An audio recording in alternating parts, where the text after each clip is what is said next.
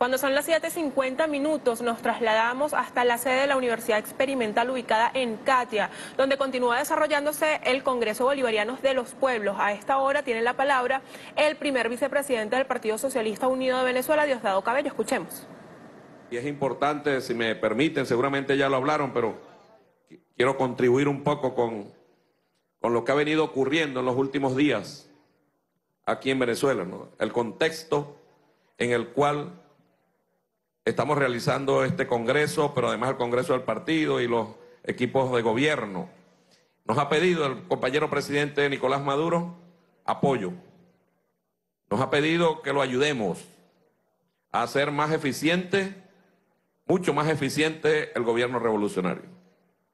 Y esto podemos verlo desde muchos ángulos, o desde muchos lugares, desde la posición del que no quiere hacer nada porque estaba disgustado o la posición del que está restiado y dice, pase lo que pase, aquí estaremos nosotros en revolución. Y nuestro pueblo ha demostrado, si una cosa ha demostrado el pueblo venezolano es darle una lección al mundo. Hoy Venezuela le está dando una lección al mundo. Los faros del mundo están sobre nuestro país. Y nosotros, con esa lección al mundo, de lo que ocurre en Venezuela, hemos logrado sostener, sostener la revolución bolivariana gracias al apoyo de este pueblo, gracias al apoyo de la Fuerza Armada Nacional Bolivariana. Y recuerden, a mí me gusta mucho escuchar al comandante Chávez, ¿no? El comandante Chávez es para nosotros guía a cada rato. El comandante Chávez nos dice a nosotros, constantemente. Cada acción de la contrarrevolución debe generar una respuesta nuestra de mayor revolución, más revolución. Profundización de la revolución, como lo quieran, como lo quieran decir. Creo que lo que está haciendo el compañero presidente Nicolás Maduro va en ese sentido, estoy convencido. Pero no solo eso, sino que está abriendo las puertas para que los movimientos sociales, los partidos del Gran Polo Patriótico, este Congreso de los Pueblos, sean quienes hagan las propuestas para hacer más revolución, para profundizar la revolución. Si ellos intentan dar un golpe de Estado, nosotros tenemos que darle una vuelta para la izquierda. Si ellos sabotean el sistema eléctrico, nosotros tenemos que dar una vuelta para la izquierda siempre en el camino de la revolución bolivariana. aprovechemos este espacio. Tres propuestas por, por sector están pidiendo, por, por área. Imagínense la fuerza que eso puede tener. Y el compañero presidente con lo que el pueblo piensa. Porque aquí, yo entiendo perfectamente, por lo poco que hemos escuchado aquí, pero sabemos que esa es la voz del pueblo, que la gente dice, no, la burocracia. Claro, yo también estoy obstinado a la burocracia. ¿Quién, ¿Quién quiere la burocracia? Yo estoy obstinado. A mí me, cuando yo escucho, no, no se puede hoy, tiene que ser la semana que viene. No, que yo vengo de Guárico. Bueno, vuelvo a venir. Ay, Dios mío querido. ¿Verdad que provoca muchas cosas? Ay, lo lamento, yo me voy, usted está llegando tarde. Terrible. Mire, está bien, pero falta la partida de nacimiento de su abuela. ¿A quién le gusta eso? Pues? Y ustedes saben que estamos llenos de funcionarios que les encanta hacer eso. Se creen poderosos si hacen eso. Se creen muy poderosos porque son capaces de retardar a un ser humano, a una mujer, a un hombre que viene de cualquier parte de Venezuela a hacer un simple trámite.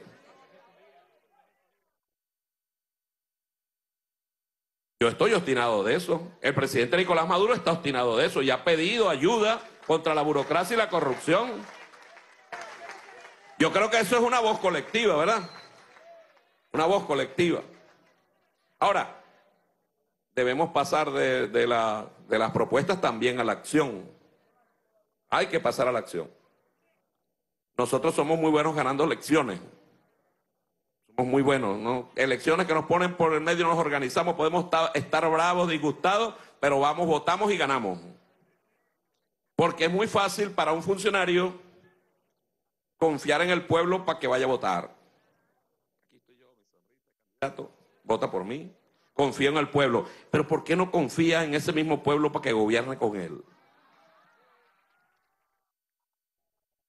Digo yo, ¿no? Digo yo, entonces luego me, cierro a ese pueblo que le fui a pedir el voto y ya no lo atiendo porque, bueno, no tengo cómo solucionarle su problema. Mire, no sabe cuánto agradece el pueblo cuando un funcionario así no le puede resolver el problema, lo atiende y le dice, mire hermano, no podemos resolver ese problema, pero vamos juntos a buscar otra instancia para ver si lo resolvemos. ¿Verdad que es distinto? ¿Verdad que es distinto? Nos divorciamos a veces del pueblo y estamos aquí gracias a este hermoso pueblo revolucionario, bolivariano, de pueblo chavista. Y hoy, y hoy, bueno, el presidente nos está pidiendo ese apoyo, esa ayuda. Vamos a ayudarlo, pues. Cada quien, cada quien, porque es bien bueno que ahorita no hay elecciones de nada, ¿verdad? No hay elecciones de nada. O sea, nadie puede estar aspirando a ningún cargo. El que haga, el que haga este trabajo, en verdad, son de los verdaderos revolucionarios. Porque hay uno que les gusta, les gusta hacer, ¿cómo se llama? Aparecer cuando hay elecciones para ver si lo meten en la lista de concejal, la meten en la lista de no sé qué cosa. No hay elecciones de nada. Aquí la próxima elección, Dios mediante, será de la Asamblea Nacional, que es la que corresponde. Será la próxima elección. Entonces, es importante que lo que le entreguemos al presidente ahora vaya cargado, mire, por no piensen que la propuesta pueda ser absurda. No, no, no, no las van a aprobar. No, no piense eso. Hágala. Hágala porque el verdaderamente el que verdaderamente sabe o la que verdaderamente sabe es la que sufre las consecuencias de cosas que no se están ejecutando en este momento. Me explico. A lo mejor se hace una propuesta aquí y la gente dice, pero ¿por qué eso? Bueno, porque la realidad del interior del país es distinta a la de Caracas. Y lo que no sirve en Caracas puede servir en otro estado, ¿ves? puede servir en Mérida, puede servir en Delta Macuro, porque son realidades absolutamente distintas. Y lo que tenemos es que ir sumando, sumando, sumando la voluntad de nuestro pueblo. ¿Ah? Encontrémonos y sepamos, sepamos nosotros dónde estamos parados hoy. Esto que hoy nos invita el presidente, en medio de una victoria, que traemos una victoria contra un golpe de Estado. Estamos conscientes que nosotros estamos en victoria popular, en victoria de dignidad, de moral, de ética. Estamos conscientes de eso, ¿verdad? Asumámoslo, asumámoslo como lo asumía, asumía el comandante Chávez. ¿Cómo lo asumía el comandante Chávez? Con, con soberbia, nunca. Nunca, con mucha humildad, pero con mucha firmeza. Aquí tiene que haber justicia. Aquí tiene que haber justicia. Aquí hay que identificar plenamente a los traidores y a, los traidores ponerlos en su lugar. Aquí hay que darle, darle. Es parte, mire, es parte de esto. Ustedes creen, el presidente Nicolás Maduro, yo les pido a los que les encanta criticar, si nos están escuchando, critican por todo y de todo. Pónganse los zapatos de Nicolás Maduro un día una noche, pues, y duerman tranquilos para ver.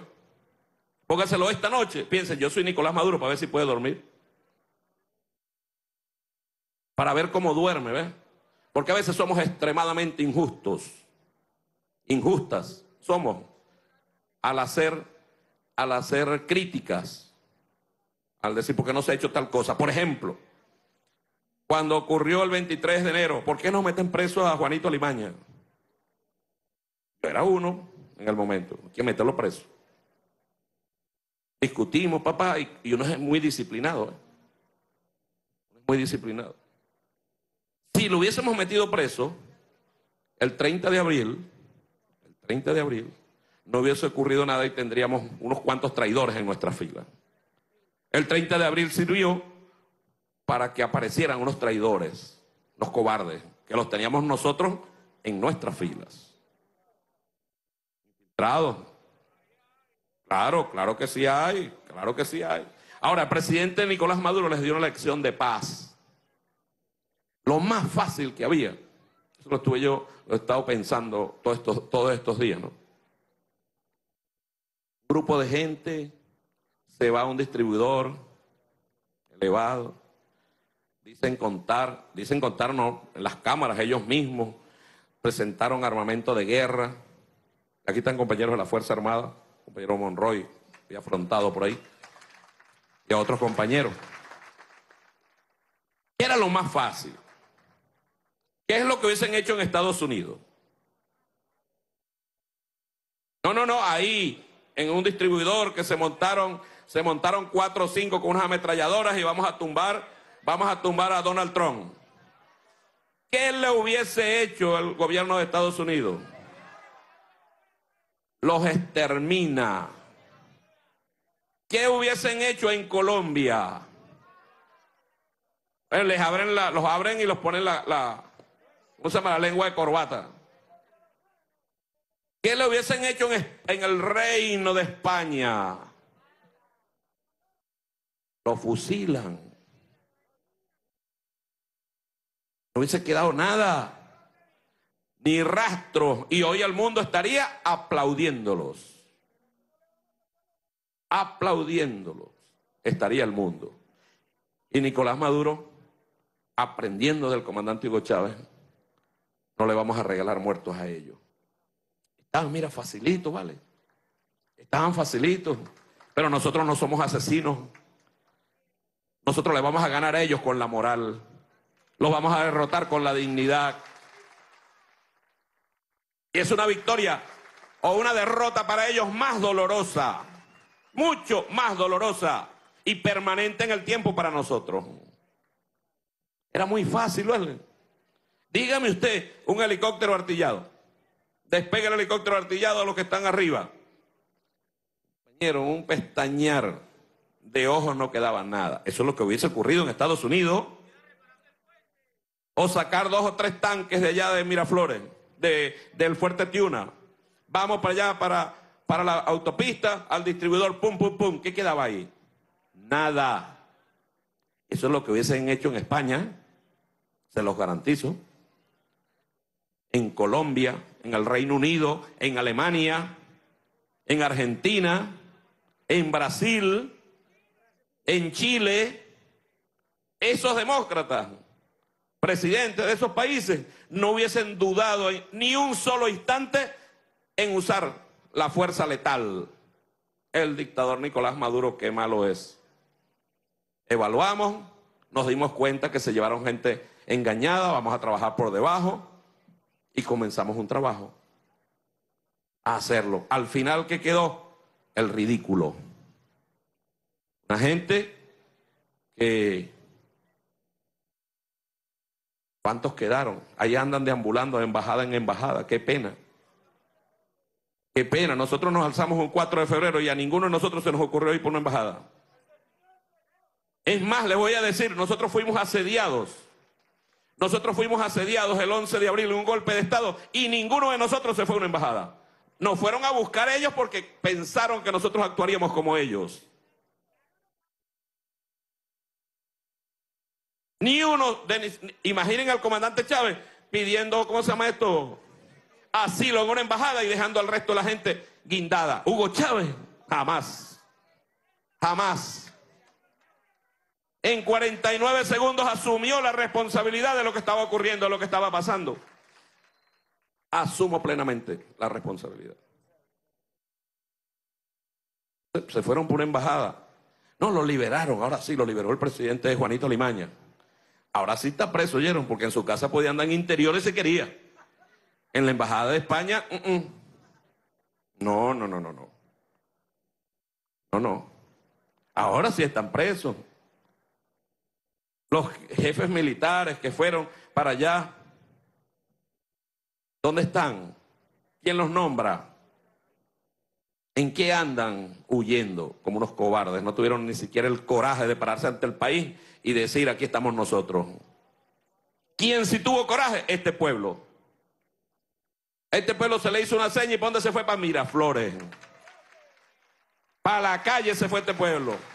A, este, a nuestra Fuerza Armada Nacional Bolivariana se le hizo una seña y ellos están repudiando la cobardía. ¿Por qué? ¿Por qué? Por Chávez vive. ¿Por qué? Porque les pagaron, ¿vale? Qué miserables, ¿no? Eso es mentira. Ahorita el que se está levantando por ideales, no, los ideales no. Eso es mentira. Están solo por dinero, por pago. Y les voy a decir algo, les están pagando, están exigiendo pago por adelantado. Porque a los de Colombia los dejaron guindados y los bichos dijeron, no, ni me paga por adelantado, dame mi platica. Música paga, ¿cómo es que dicen?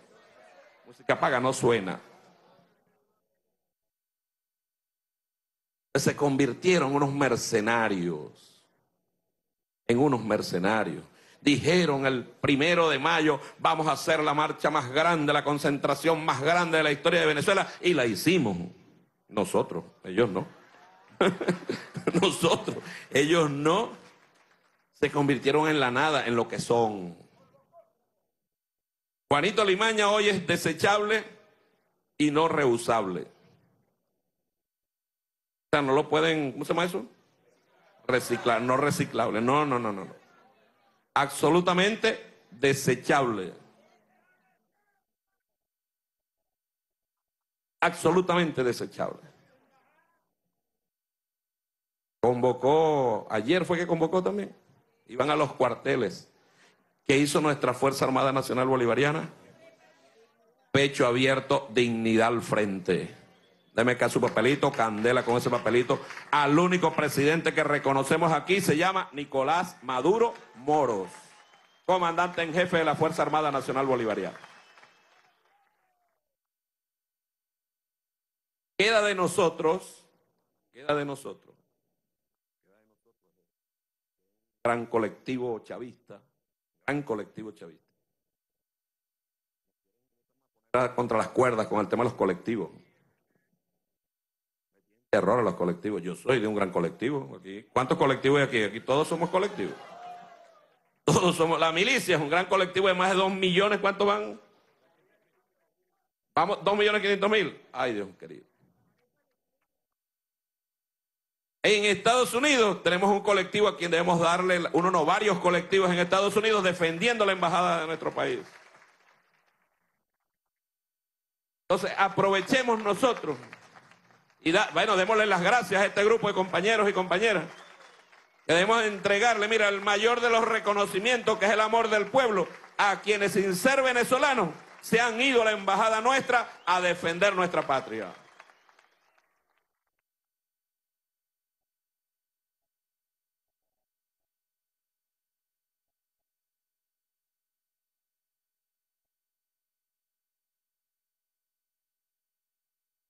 Hemos triunfado completamente. Tengamos cuidado con el triunfalismo. Tengamos cuidado con el triunfalismo. Vayamos paso a paso. Les infringimos una gran derrota al imperialismo. Ellos esperaban que a las 7 de la mañana tuviera el tipo con Juanito Melimaña con su banda.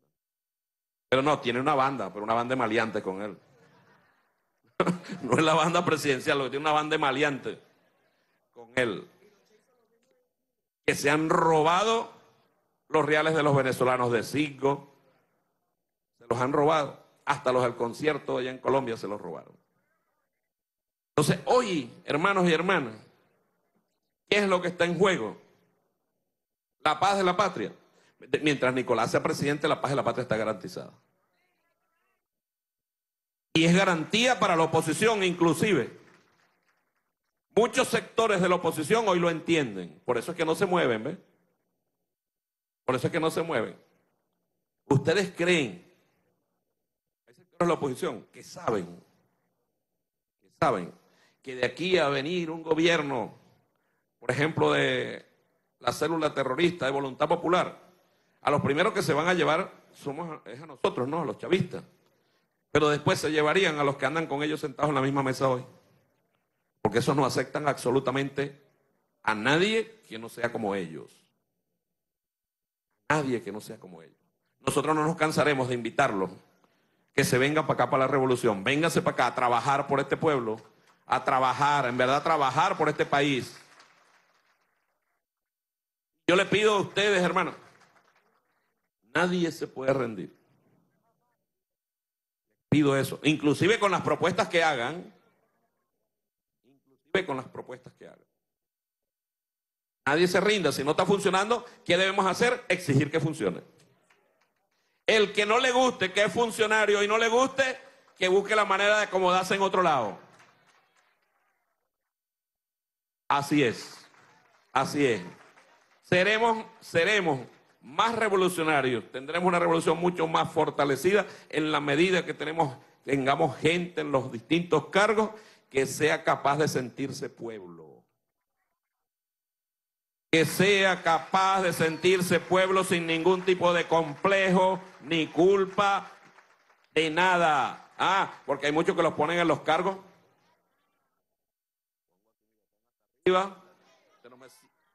Ah, me pongo mi corbatota, ya no soy pueblo.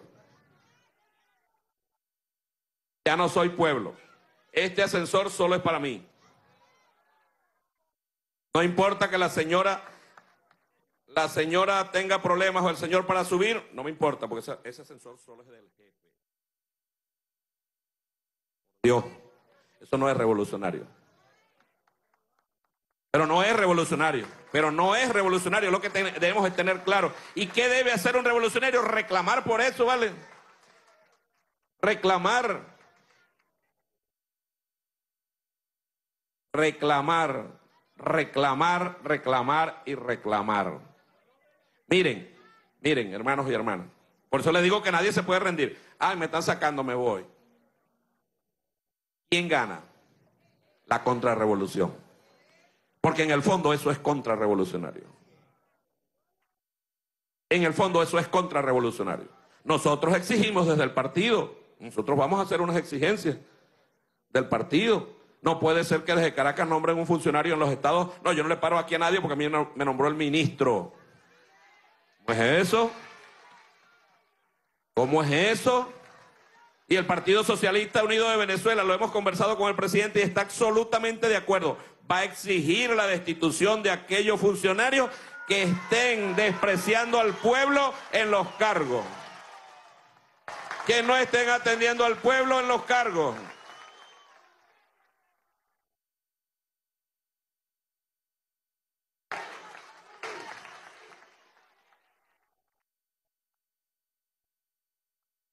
Miren, Así como el comandante Chávez era el más crítico de su gobierno, tengan la seguridad que el más crítico de su gobierno es el hermano presidente Nicolás Maduro. Tengan la certeza que es así. Tengan la certeza que es así. Que él quisiera tener a funcionarios que verdaderamente estén dispuestos a servir. Que estén dispuestos a trabajar. Y quisiera tener, quisiera tener escúcheme, quisiera tener dirigentes de todos los movimientos que estén dispuestos a reclamar cuando haya que reclamar, donde haya que reclamar. Nosotros hemos insistido, por ejemplo, por ejemplo, nosotros hemos insistido con las formas de comunicarnos con el pueblo. ¿Cómo comunicarnos? ¿Cómo, haber, cómo puede haber contacto? Yo, yo los compañeros de la Dirección Nacional son testigos. Yo les he pedido, mire, que hagan programas de radio. Y en los programas de radio abran los teléfonos, pero abran los teléfonos de verdad. No para que me llamen los que a mí me conviene que me llamen. para tú si eres machete. pero no, no, no, no pases ningún problema. ¿Por qué? Porque a veces el pueblo no encuentra canales de comunicación. No encuentra cómo comunicarse. ¿Será que pondremos un 800 pajas? Tendremos que poner un 800 pajas, ¿verdad?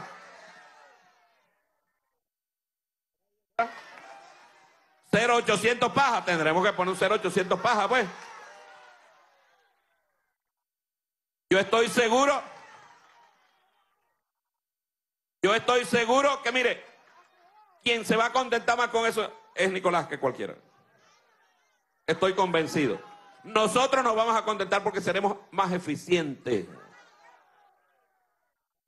seremos más eficientes. Bueno, es una propuesta, pues ahí está. Una propuesta. ¿Por qué? ¿Por qué digo esto?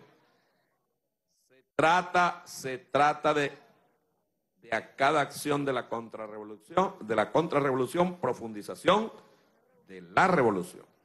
Y lo que más les arde a los escuálidos de este país es que el pueblo tenga poder. Eso es lo que más les arde. Eso es lo que más les... En estos días, yo hablaba con una persona, ¿no? y me decía, yo le decía, ¿qué piensas tú de tal persona? No, es incapaz.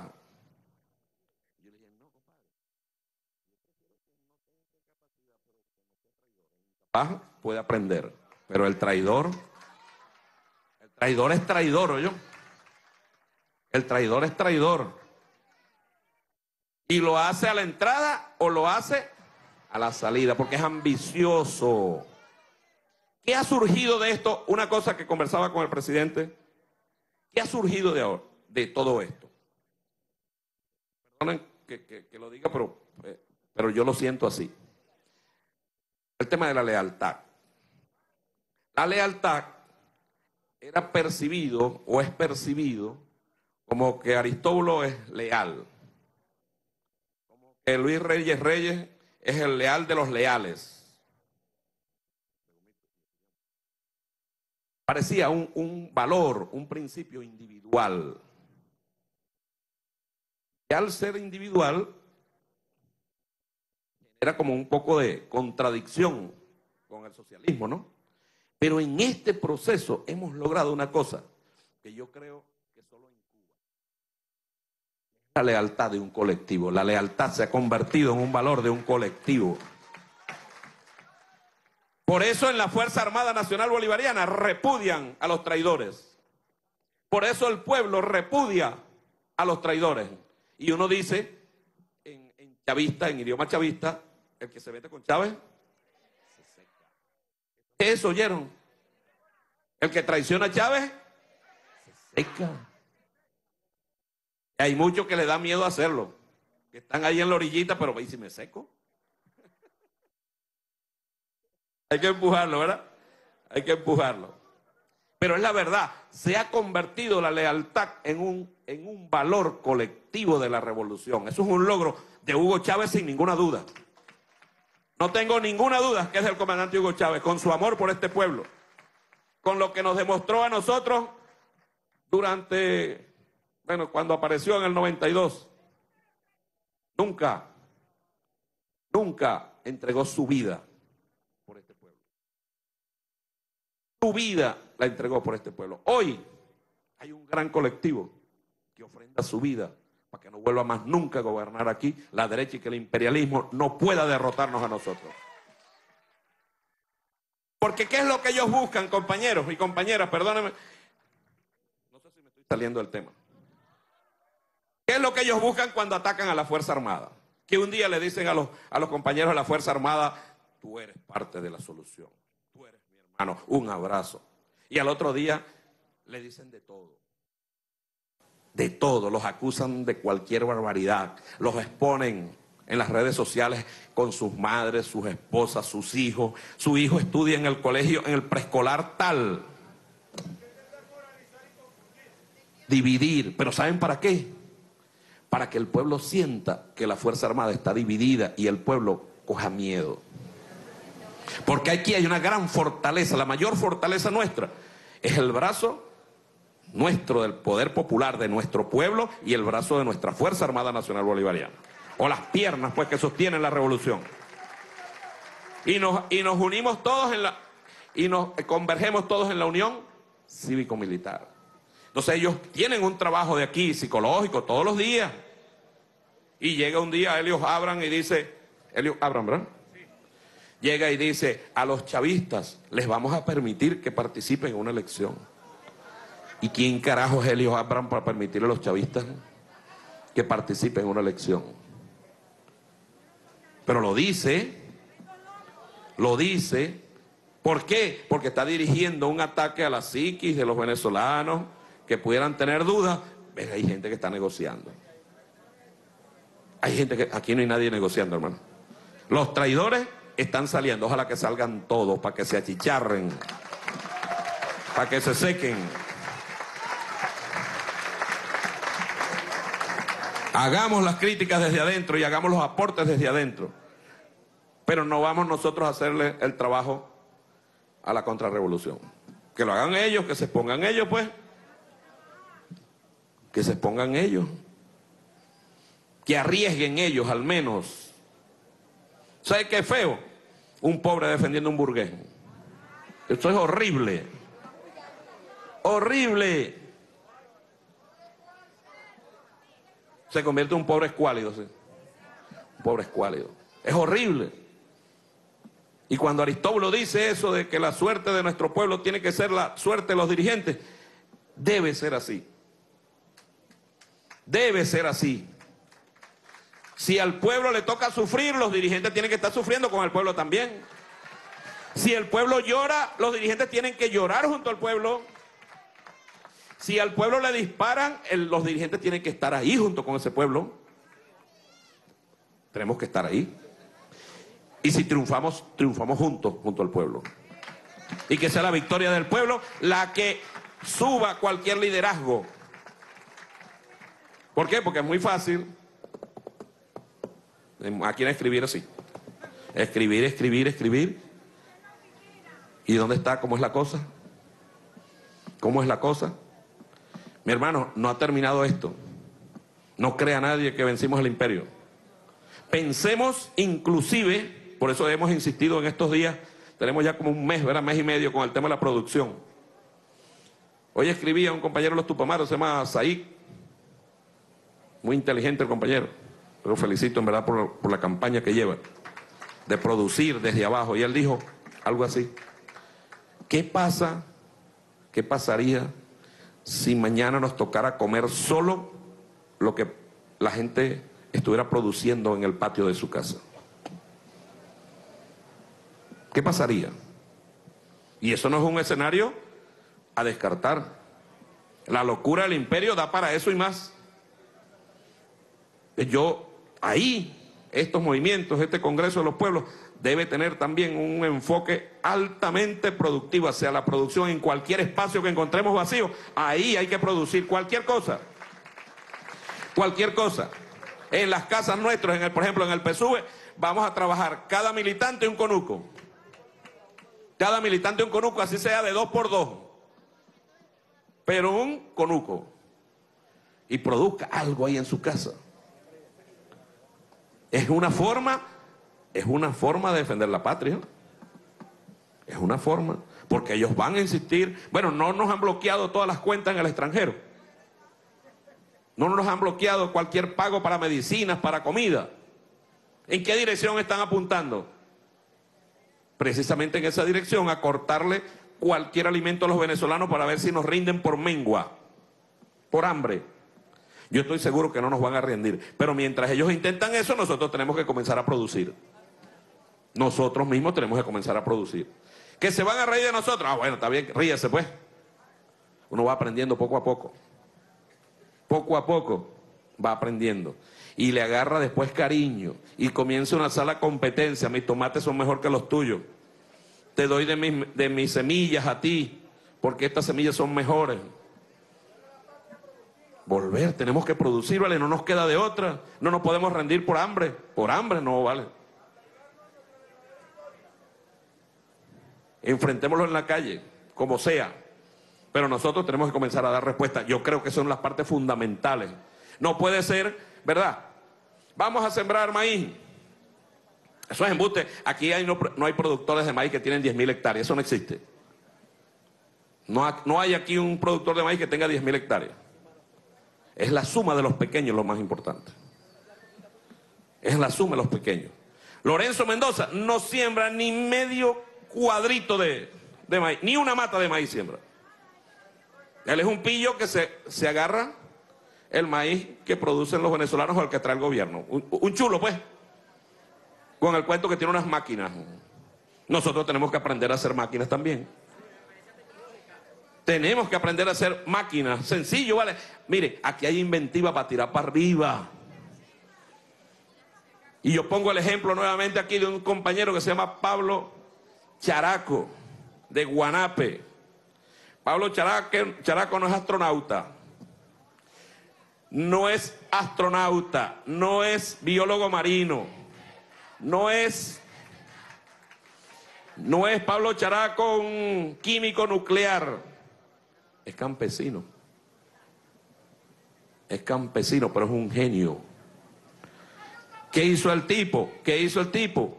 Agarró semilla de por aquí, semilla de por acá, siete tipos de semillas mezcló, mezcló hasta que sacó una semilla que le ha demostrado que es resistente a la sequía. Y lo mejor de Pablo Characo no es solo su inteligencia, sino que está dispuesto a compartirla con cualquier venezolano, con cualquier venezolano. Que aguanta la sequía, ¿ves? ¿No es eso en verdad lo que nosotros andamos buscando? ¿O estamos buscando el individualismo, que yo me cierro y de aquí eh, lo único que me importa es mi vida? Si mi hijo estudia, si mi hijo come, si mi hijo tiene salud. No me importa el del lado. Yo creo que eso no es lo que nosotros buscamos. Eso no fue lo que Chávez nos pidió que buscáramos. Aprovechemos este espacio. Hagámosle la propuesta al presidente. Miren, no importa que sea lo más loco. La locura es creativa. La locura creativa. La locura creativa. Para avanzar para, para nosotros sentir que esa derecha, esa derecha, loca, desmedida por la ambición de poder, entienda que nosotros no nos vamos a rendir. Que no hay espacio para la rendición aquí. Que los invitamos a ellos a sumarse, a producir bajo las reglas de juego nuestras. Estos compañeros que están allá en Estados Unidos, los de los colectivos estos, yo escuché a una persona, una muchacha decir, que Estados Unidos tiene que aprender de Venezuela a construir vivienda. Que allá no le construyen vivienda al pobre. Es más, en ninguna parte del mundo le construyen vivienda al pobre. El único lugar del mundo donde le construyen vivienda al pobre es aquí en Venezuela.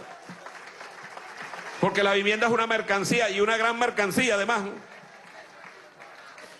Por esa razón, por esa razón, el único decreto que firmó Carmona el único decreto que firmó Carmona cuando fue presidente fue devolviendo los créditos indexados. ¿Sabe quién le llevó el decreto? Un pajarraco de Primera Justicia, Martínez, ¿es que se llamaba? Leopoldo Martínez, que era su ministro de Finanzas. Firmé aquí y el bicho firmó. Devolviendo los créditos indexados. ¿Y qué hizo Julio Borges cuando, cuando llegaron a la Asamblea Nacional? Lo primero que aprobaron, la ley de privatización de la vivienda. Una ley estafa. ¿Ve? Ellos saben que por ahí atacan al pueblo, les importa. Habla, no, vamos a proteger a los trabajadores y las trabajadoras. Carajo.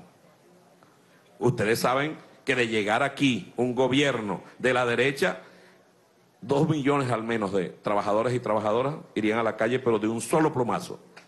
Dos millones al menos en la primera vuelta. Bajo el cuento. ¿Y sabe qué dirían? es que el otro gobierno, eso es culpa del otro gobierno que empleó mucha gente y convirtió al Estado, atrofió al Estado muy grande. Inmediatamente lo dirían. Nosotros hoy, hermanos, tenemos la oportunidad de hacer una revolución y hemos llegado aquí en paz y debemos continuar haciendo una revolución en paz. Aprovechemos esta gran, este gran momento que el compañero presidente y hagamos todas las propuestas, pongámoslas en la mesa. Mañana en la plenaria, bueno, y luego después hay que generar un gran documento, ¿eh? Porque algunos compañeros decían, ese diálogo, ¿por qué no es en la calle? Claro que es en la calle. Aquí hay un grupo de personas, pero ayer hubo 16 mil asambleas nada más de ustedes. 16 mil, 800, casi 17 mil asambleas. Pero igualito, igualito lo que se apruebe, tiene que ir para la discusión en la calle para mejorarlo. Para que el que se sienta excluido hoy no se sienta excluido, pues. Uno, mira, en una revolución, si usted lo sacan por la puerta, métase por la ventana. No espere una revolución, no puede estar mandando, ¿cómo se llama?, invitaciones con bordes de oro. Señor Aristóbulo Isturiz, está usted, ya va, excelentísimo señor Aristóbulo Isturiz, Almeida. Está usted, está usted cordialmente invitado al brindis que, no, no, aquí no hay brindis, aquí es trabajo. Y está invitado todo el pueblo de Venezuela sin ninguna tarjeta, sin ninguna tarjeta. Convirtamos esto en un verdadero espacio para sumar. Mira, este, este movimiento de ustedes, este movimiento del Congreso de los Pueblos, yo de verdad estoy, en lo personal, estoy gratamente sorprendido. Yo sé que, que, parte de eso es porque hay un caballero que está al frente que se llama Aristóbulo, que es incansable. Es incansable. Que a veces, pero eso yo espero que lo entiendan, eso es por los años, que a veces se pone bravo, está bien, pues. Pero lo hace por el amor a la patria. Lo conocemos y lo que ha hecho Aristóbulo con este Congreso de los Pueblos, lo que hay que seguir haciendo, aguas abajo. Aguas abajo a todas las instancias que sea posible. Por último, termino. Nadie crea, como antes había una, una cosa, que, que la información es poder. Entonces yo lo que yo sabía, me lo escondo. Y me voy, y me voy. No se lo digo a nadie porque esto es poder. Poder como para qué. Poder como para qué. Del egoísmo. Del egoísmo, del individualismo, de la burocracia. El verdadero poder es cuando el pueblo puede. Y el pueblo puede, en la medida que comparta, que suma, que tenga conocimiento. Ya este pueblo tiene conciencia, ¿oyeron? Ustedes no se acuerdan, ustedes no se acuerdan cuando el comandante Chávez dejé mi constitución en la mesa. Sacaba la constitución en todos lados. ¿Y de qué lo.? Aquí está, está mi constitución. Sacaba la constitución en todos lados. ¿Y qué le decían? Se burlaban.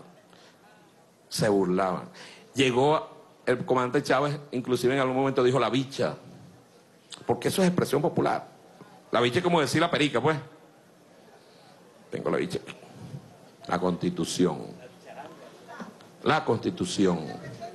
¿Y qué logró el comandante Hugo Chávez? Que el pueblo leyera esta constitución. Que el pueblo conociera esta constitución. Y conociéndola, tú comienzas a defenderla y sabe que esto es el esfuerzo de un pueblo y sabe que es el esfuerzo de un líder como Antiguo Chávez y comienzas a defenderla. Dentro de esta constitución, todo. Fuera de ella, nada. Ahorita, nosotros estamos en una Asamblea Nacional Constituyente que fue electa al, el 30 de julio para trabajar al menos dos años. Yo creo que esto se pone bueno, ¿verdad? Esto se pone bueno y nosotros estamos, yo creo que para el 30 de julio no nos da tiempo nosotros de, hacer esto, a lo mejor sí, seguimos trabajando. Seguimos trabajando hasta el 2000, cuando hay elecciones de... Al, por lo menos hasta el 5 de enero del 2000, o hasta que se apruebe la constitución, pues. Pero esto ha sido un, la, la constituyente ha sido un instrumento para preservar la paz en este país y así debemos seguir en paz. Yo les agradezco, compañeros Aristóbulo, a todos los compañeros, los ministros, es una gran responsabilidad, una gran responsabilidad. ¿Ustedes creen, a nosotros nos llaman locos, oyeron? Un domingo a las 8 de la noche reunió todo este poco gente. ¿Ah? Perdón, desde las 8 de la mañana, quise decir. Pero no es aquí nada más. Usted va para otro lado y está el pueblo reunido, ¿vale? ¿Qué poder el de este pueblo, ¿vale? ¿Qué conciencia la de este pueblo? Hoy el comandante, el compañero presidente Nicolás Maduro, se reunió con todos los comandantes de unidades,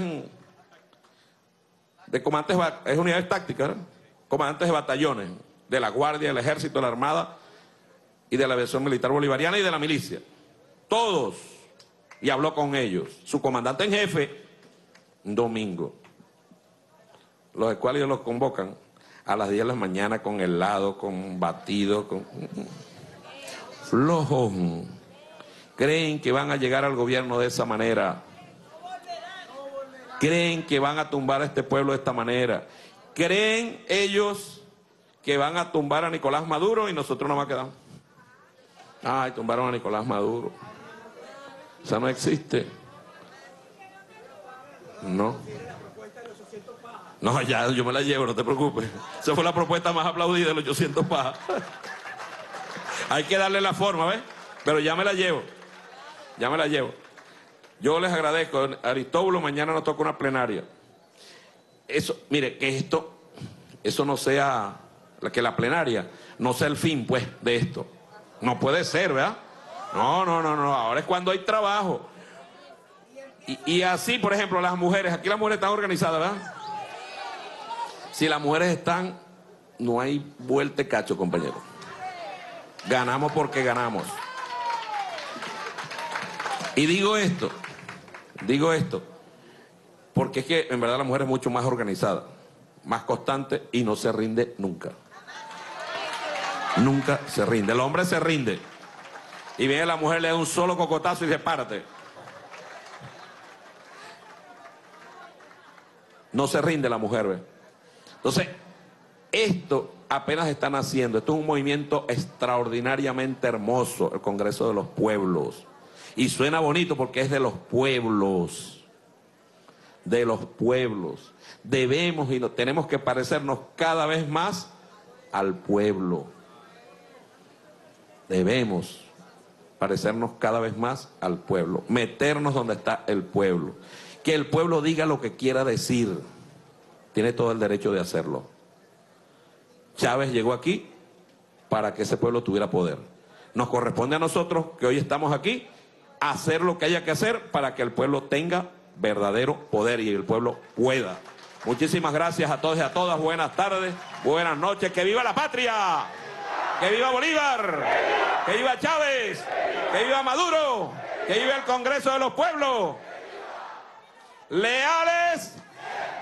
¡Traidores! ¡Leales! ¡Traidores! Independencia y patria socialista.